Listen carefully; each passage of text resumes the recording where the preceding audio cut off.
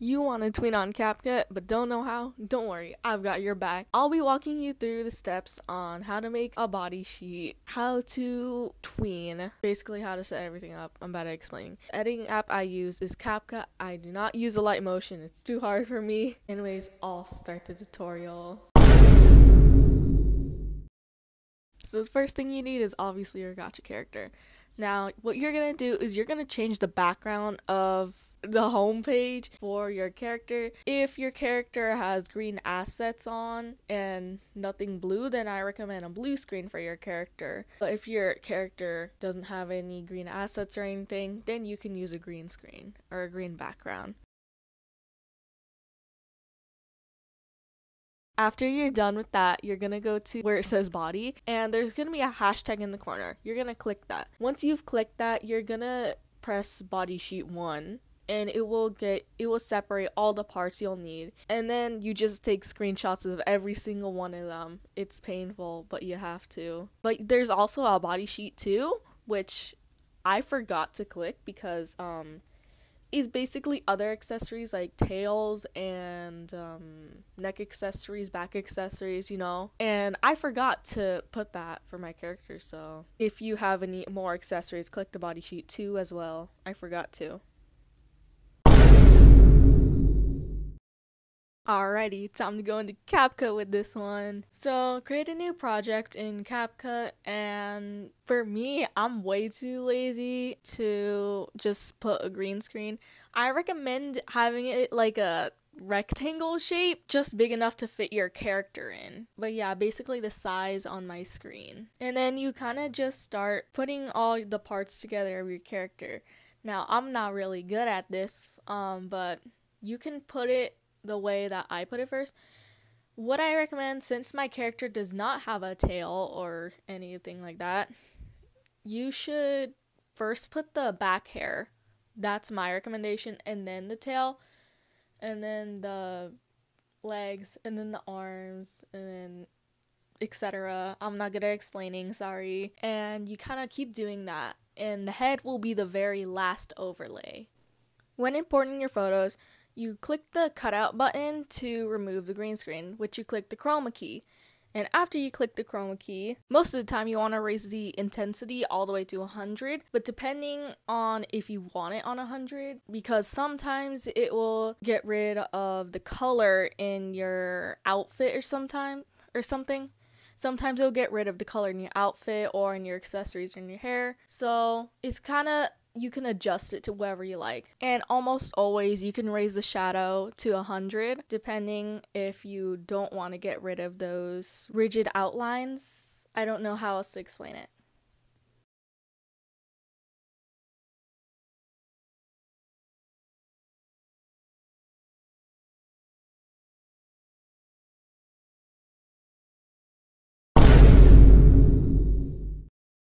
One thing I highly recommend after creating your body sheet, I still am confused if it's called that, you should take a normal screenshot of your character and put it on top of the body sheet just to get the proportions right because sometimes I mess up the proportions and I can't always tell if it looks good or not. Sometimes I'll make the arms too big or the head too small you know, proportions, I can't always get them right. So that's why I put in the body sheet first and then I put on the character on top. I recommend lowering the opacity to 50% for your character photo and then you kind of just fix up the proportions. It looks complicated, but uh, yeah, I don't really have any tips on how to do this. Good luck.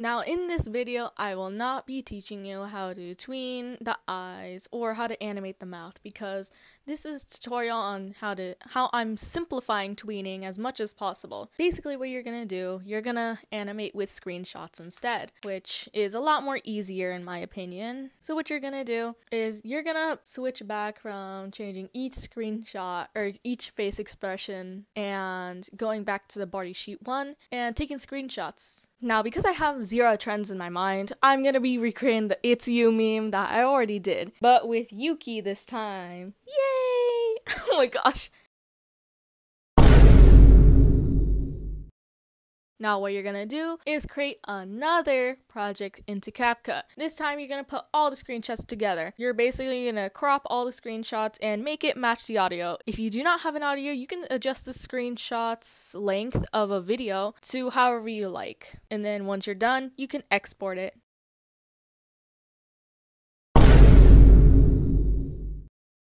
Now what you're gonna do is I did this off um recording. I cropped it in my photos. Just crop it so you can see the head only. And don't crop it in CapCut unless you want it to be blurry, which um you can't really get rid of that. So you have to crop it in your photos.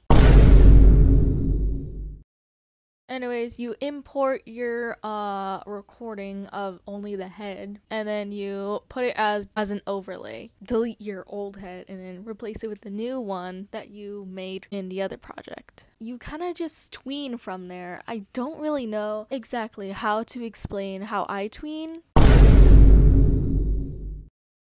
Now, you're just tweening and um all of a sudden this happens in the middle of it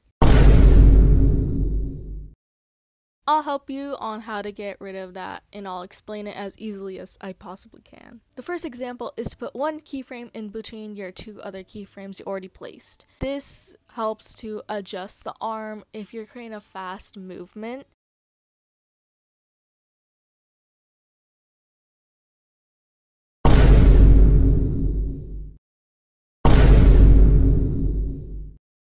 Now the second example is to literally add as many keyframes as you can possibly make. Now you won't be able to change the graph on these, but it will certainly make your movement look a lot more smoother, at least in my opinion.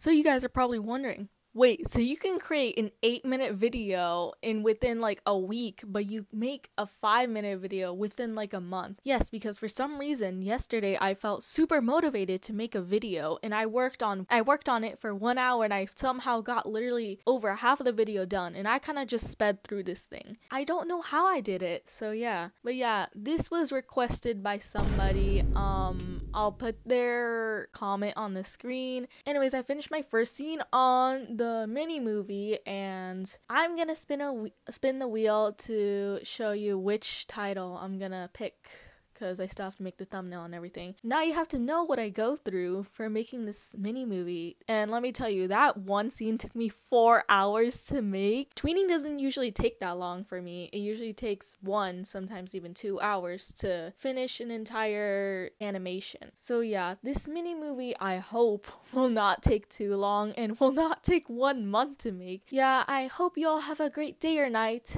Goodbye.